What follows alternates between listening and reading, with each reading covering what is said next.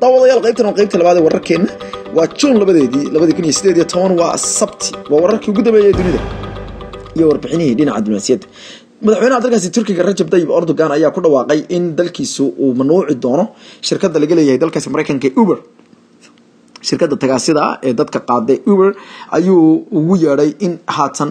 guul laga gaadhay. Isla marka la dhameeyey buu go'aan laga gaadhay buu wuxuu yidhi khilaafaadkeeda iyo buuqii ku saabsanaa buu yidhi in uber xaaladeeda ama ganacsiga uber laga saaro dalka. Wuxuu yidhi shirkadda ama ganacsiga uber wuxuu noqday mid aanu xalinay mana doonayno in wax noocaas oo kale haatan iyo wixii ka dambeeya ay dalkanada ka sii jiraan ama ay sii joogaan buu yihi rajab tayyib erdogan oo barnaamij dhinaca afurka ah uga jeedinaya khudbad magaalada la yidhahdo yanakibi wuxuu sheegay in sida muuqata tagaasida dalkaasi ama tagsiilooyda caadiga dalkaasi ay cabashooyin xoogan ka soo ka soo gudbinayeen buu yihi dhibaatooyinka uber uu ku hayo buu yidhi dalka iyo ganacsiga isagoo gaar ahaan buu yihi shirkadda dhinaca tagaasida dalkaasi ee loo yaqaano yellow cap ay cabashooyin waaweyn oo ah meel ka dhacyo uberku ku sameeyey baa layidhi ganacsiga caadigahaa oo uu si weyn u raqiisiyey lacagta lagu fuulo ama tagaasida lagu qaato haatan ay doonayaan inay ka taqalusaan. Waxa uu ku dayanaya haatan turkigu dalal dhowr ah oo reer yuruba oo iyaguna iska mamnuucay islamarkaana dalkooda ka eryey iyo kuwo qayb ahaan dalka ka mamnuucay. Dalalka bulgaria denmark iyo hungary ayaa gebi ahaanba eryey uber islamarkaana dalkooda ka mamnuucay. Halka faransiiska italy germany jaban iyo taiwanna ay ka dhigeen meelo xadidan keliya inuu ka shaqeeyo. Jarmalka ayaa maxkamad ku taala magaalada gobolka frankfort bishii september labadii kun iyo afar iyo toban waxa ay xukuntay in uber uusan imaaba karin islamarkaana waxaaba la diiday inuu ka shaqeeyo. Halka magaalada berlinna la sheegay in goobo ka mid a laga ogol yahay qaarkeedna aan laga ogolayn magaalada munikh ayaa sidoo kale ka mid a magaalooyinka qayb ahaan laga ogol yahay. Faransiiska maxkamad ku taala ayaa uber ku maxkamadaysay ama ku ganaaxday sideed boqol oo kun oo euro oo u dhiganta sagaal boqol konton iyo toddoba kun oo doolarka maraykanka ah sannadkii labadii kun iyo lix iyo toban bishii juun kadib markii ay sheegeen inuu si sharci darraa magaalada uga shaqaysanayay. Magaalada londonna waxaa laysankii ama shatigii lagala noqday uber walow weli uber ka sii shaqeeya magaalada london ee xarunta dalka britain. Haddana waxaa weli maxkamad u socotaa iyadoo laga yaabo baa la leeyahay in ay maxkamadda uber ku guuldaraystaan ama hadday ku guuldaraystaan ku guuleystaanba ay iska adkaa doonto. Sida muuqatana shirkadda uber oo iyadu ah taxi sida markaasi qeybta telefoonada laga dalbado ama aad ka dalban karto telefoonkaaga oo app uu leeyahay intaad soo rogato kadibna aad geliso informationka ama macluumaadka bangigaaga haddana aad dalban karto taxi adoo gurigaaga jooga ahna mid aada u fudud marka la eego oo dabcan dad badan ay jeclaysteen ayaa waxaa asal ahaan sameeyey laba nin oo maraykan ka soo jeeda walow mid ahaan oo asal ahaan reer canada ahaa kuwaasoo indhaweto ay wajahayeen dhibaatooyin xoogan dhibaatooyinka wajahayeen waxaa ka mid ahaa in baabuur iswaday oo ay soo saartay shirkadaasi dhowaan uu shir galay islamarkaana qof dilay iyadoo taas ay soo dedisay in gobolka arizona ee dalkaasi maraykanka laga mamnuuco gebi ahaanba baabuurta iswada ee uber ay u isticmaalaan taasoo ay ku yareynayeen markaasi darawalada u shaqeeya. Waxaana jiray dhacdooyin xoogan oo darawaladu ayaguna ay kaga cabanayeen xuquuq la'aan baahsan oo shirkadaasi ay kula kacdo taasoo inta badan ay saarayeen garabka dadka ayagu macabiisha ah bedelkii ay dadka darawaliinta ee shaqaalaha ay u daneen lahaayeen. Weli halkaad nagala socotaan waa wararkii dunida haatanna madagaskar. Dalka jasiiradda madagaskar ee qaaradda africa oo ah dalka keliya ee qaaradda africa ku yaalla ee aan lahayn xuduud dhuleed ayaa maxkamadda dastuuriga ee dalkaasi waxa ay dowladda u qabatay muddo afar maalmood ah in ay kaga inay xilka kaga degto ama ay ama ay toddoba maalmood gudahood ku soo dhisto dowlad loo dhan yahay oo dalka ka saarta qalalaasaha xoogan ee ka bilowday hogaamiyaha dalka ayaa wuxuu ku guuldaraystay inuu soo afjaro muranka siyaasadeed ee ka taagnaa tan iyo jimcihii la soo dhaafay iyadoo madaxweyne heri madaxweyne heri rajano mabina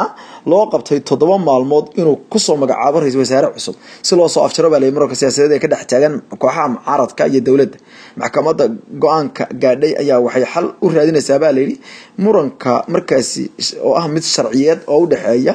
xukuumadda haatan talada haysa iyo mucaaradka sida weyn uga soo horjeeda ama sida weyn u diidan mucaaradku waxay go-aanka maxkamadda kasoo baxay ku tilmaameen inuu yahay mid ay maxkamaddu ku difaacayso musharaxa doorashada xilka isku dhejinaya ee madaxtinimada haatan haysta boqolaal taageerayaal mucaaradka ayitan ayaa qabsaday isgoyska bartamaha magaalada antanorivo ee ah xarunta dalkaasi jasiiradda ah islamarkaana ay ku dhaqan yihiin ku dhawaadka shan iyo labaatanka milyuun ee ruux ee reer afrika ee reer madagaskar. Militariga dalkaasi madagaskar waxay maalin ka hor ayaguna ku dhawaaqeen ama ay ka digeen inay soo faragelin doonaan xaaladda wasiirka difaaca war qoraal uu soo saaray ayuu sheegay shalay in ay militarigu heegan ku jiraan islamarkaana ay sugayaan amarkiisoo keliya. Haddii dowladdu ay ka falaxalo diido muranka siyaasadeed iyo qalaalasa dalkaas ka taaganna uu tallaabo cad ka qaadayo islamarkaana ku amrayo inay militarigu dhoomaan dhammaan xarumaha dowladda. Waxaana dalkaasi uu ka soo kabanayaa uun muddo uun toban sano haatan laga joogo qalalaasi xoogan kolkii halkaasi uu ka dhacay afgembi military. Dowladda dalkaasi madagaskar oo iyadu uu ku yaalo ku taalo jasiirado aada u badan iyo dhul aada u qurux badan islamarkaana ay xayawaanaad fara badan ku nool yihiin ayaa haatan waxaa siyaasadeeda kiciyey. Kadib markii madaxda haatan ama xukuumadda haatan ay xukunka ay ka degdiideen islamarkaana isku dhejinayaan taasoo mucaaradkuna ay si weyn uga xanaaqeen. Halkaad nagala socotaan waa wararkii iyo warbixinihii dhinaca diblomaasiyadda iyo weliba dhacdooyinka caalamiga aha ee haatanna. Bargaret general sharaf qaalib luqmaan oo shir jaraa'id qabtay ayaa wuxuu ku dhawaaqay markii ugu horreysay in magaalooyinka abudabey iyo dubay haatan iyo wixii ka dambeeya aysan ahayn goobo nabadeed. Waa sida uu sheegay. Generaal ashraf qaalib luqmaan ayaa yidhi maanta wixii loo gaadho ama ka bilowda ama maanta kadib magaalada abudabey ma noqon doonto meel nabadi ka jirto. Luqmaan wuxuu sidoo kale u digay in ganacsatada iyo maalqabeenada fadhiya buui magaalada dubai ee dhinaca ganacsiga ah ee xeebta ah dekeda leh inay ku ayse hadalkiisa u qaataan buuri wuxuu ugu yeedhay si dhab ah. Warka qoraalka ah ee uu akhriyey ayuu wuxuu sheegay in kooxda ay hogaaminayaan buu yihi sacuudi carabiya iyo iskutaga imaaraadka carabta gaar ahaan ciidamada imaaraadka carabta ee yimid buu yihi islamarkaana hareereeyey magaalada dekeda iyo xudayda ee galbeedka dalkaasi yeman ay tahay in laga argoosto wuxuu yihi waxaan haatan rakibnay gantaalihii lagu garaaci lahaa magaalooyinka waaweyn. Waxaan u sheegaynaa dunida in ay taasi tahay buu yihi fariintii ugu dambeysay ee ku socota imaaraadka carabta. Magaalooyinka abudabey iyo dubai waxay noqon doonaan kuwo gubta saacadaha soo socda ama saacad kasta oo maanta ka bilaabata ayuu ka digay jananku wuxuuna sheegay in dagaal laysku cadaysan doono uu dhici doono. Dalka yeman oo ah dalka ugu faqiirsan dunida carabta ama dalalka carbeed oo dhan ayaa dagaal harakeeyey saddexdii sane ee ugu dambeeyey ayadoo kooxda xuutiyiintu ay ku habsadeen magaalada sanca ee xarunta dalkaasi ahayd labadii kun iyo afar iyo toban sebtembar markay bishu ahayd ama bishii sagaalaad labadii kun iyo afar iyo toban taasoo dadejisay in bishii saddexaad labadii kun iyo shan iyo toban ciidamada dalkaasi dalkaasi sacuudi carabiya ay iyaguna ay weerar culus ku qaadaan. Sidoo kale wuxuu beeniyey in deegaankooda deegaankii ay ku xooganaayeen kooxda xutiyiinta ee gobolka sacda ay ku soo dhawaadeen ciidamada sacuudi carabiya oo dhowaan ku dhawaaqay in ay ku hareereysan yihiin. Wuxuu yihi dhammaan deegaamadii ay nagaga soo dhawaadeen cadowgu. Sida wuxuu yihi degmooyinka hayes iyo huqa waa la xoreeyey islamarkaana dib baa looga eriyey kuwii soo doontay. Wuxuu ugu baaqay in haatan magaalada xudayde ay ku dagaalamayaan islamarkaana ay dib uga qabsan doonaan. Afayeenka ciidamada qalabka sida ee howlgallada halkaasi ka wada iyo xulufada sacuudigu hogaaminayo corneyl ama gaashaanle sare turki almalik ayaa wuxuu sheegay in labaatan kilomitr oo keliya magaalada ay u jiraan. Islamarkaana magaalada xudayda ay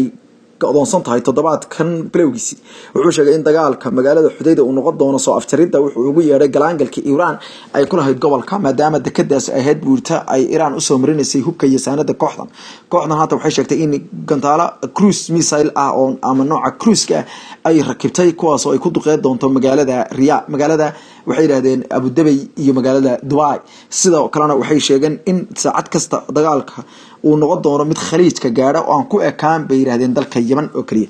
Walaalkaad nagala socotaan wararkii ugu dambeeyay dunida iyo warbixin dhinaca diblomaasiyaddii haatan madaxweyne trump iyo maraykanka. Donald trump ayaa wuxuu markii ugu horeysay gacanta ku dhigay warqad gacanta lagu soo qoray oo ka timid hogaamiyaha waqooyiga korea kim jong un sarkaalka sare ee hogaaminaya guddigii maraykanka yimid ee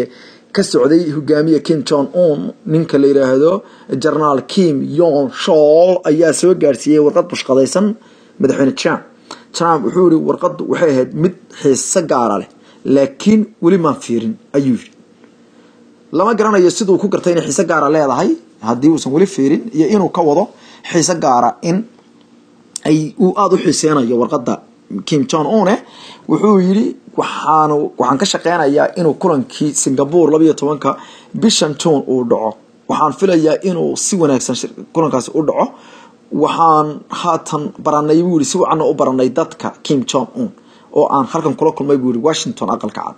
Wuxuu yihi miitinkaas ama shirkaas wuxuu noqon doonaa buu yihi mid muhiimadiisa leh wuxuuna noqon doonaa buu yihi mid mid aan lagu xaliyin buu yihi dhibaatooyinka o dhan hal mar laakiin wuxuu noqon doonaa buu yihi process ama wuxuu noqon doonaa markaasi mid markaasi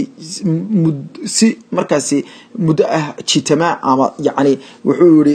in muddo ah socda si loo xalilo buu yihi dhibaatooyinka. Haddaynu fiirino labadii wiiga ugu dambeeyey dhibaatooyinkii iyo isbedeladii ku yimid arrimahan lix iyo tobankii bishii may north korea waxay sheegtay in ay la bixi karto goor kasta kulankaas ay dib uga noqon karto isla markaana waxay hadaladii maraykanka iyo madaxdooda kasoo yeedhay ahaa in wadadii libiya la maranayo ugu yeedhay kuwo markaasi caqli darro iyo mas-uuliyad darro ah afar iyo labaatankii mayna bishii hore ee donald trump wuxuu sheegay inuu kansalay isla markaana uu dib uga weecday shirkaasi iyo weliba qabashadiisa. Kadib markuu sheegay inuu ka cadhooday wuxuu ugu yeedhay colaad furan oo ka timid waqooyi korea lix iyo labaatankii may kim jong un iyo south korea madaxweynaheeda moon jay in waxay ku kulmeen aagga la yidhaahdo aagga militariga ka caagan shir aan la sii qorsheyn oo deg deg ah. Kowdii juunna oo shalay ahaydna waqooyi korea ergadooda ayaa soo gaadhay maraykanka halka kim yon shol uu warqada uu gaarsiiyey isla maanta gelinkii hore uu gaarsiiyey hogaamiyaha dalkaasi maraykanka. Wixii ka soo kordha meel walba waa caasha caalamka wararka diblomaasiyadda hurfadhi media ayaa hoygeeda ah annaguna waxaan ka doonaynaa inaad wararkana raacdaan isla markaana haddaadan la socon barta subscribe inaad tiraahdo waa muhiim. Si aad u hesho adiguna warku markuusaa u soo galaba uu telefoonkaaga ugu soo dhaco si si fududna daawadayaasheena qiimaha leh. Sidoo kale barnaamijkeenii dabcan beri ayaynu ogeysiin doonaa dabcan meelahaad nagala soo xidhiiri doontaan barnaamijkii hambaliyada iyo sanad guurada. Horfadhi media tan iyo intayn sarki doonno amaanaal